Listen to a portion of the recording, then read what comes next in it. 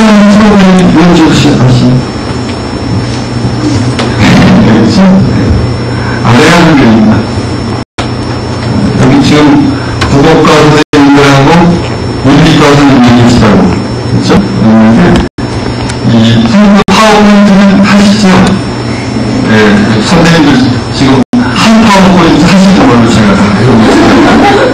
근데 파워포인트가 있는 근데 이 파워포인트의 장점은 역동성, 좀 소리 나고 그 단주할 부분을 강조하고 그러네. 근데 실제로 파워포인트 어, 학교 사회에서는 파워, 선생님들 사이에서는 파워포인트가 실패했다.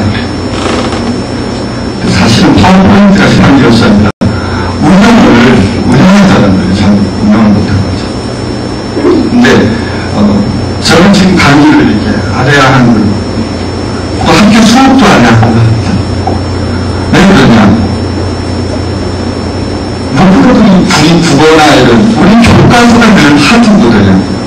그죠? 교과서를 애들하고 어떻게 수업을 할 것인가, 교과서를 어떻게 효율적으로 전달할 것인가 할 때는 이 본문 페이지가 파워포인트 한쪽에 감안할 수가 없죠. 그죠? 시합표만 해도 그렇습니다. 짜리만한 윤동주 서시정 정도만 해도 파워포인트 한쪽에 표현하기 힘든데 역동성이라는 건 굉장히 분명한 중3만 하게 될 수도 있는 거죠. 화면에 착착착 내려가고 쭉 어떤 완결된 매듭으로 끝나야 되는데 화면이 삐리링 삐리링 변하는 장단점이 있습니다. 그래서 저는 지금 제가 이제 원래 영어과입니다.